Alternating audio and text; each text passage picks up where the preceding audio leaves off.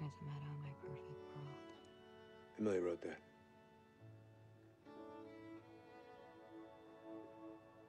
That's what got her accepted into the summer writing program at Colorado State.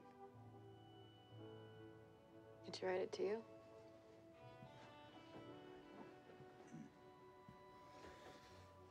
Doesn't matter who it's to. Just matters who it's from.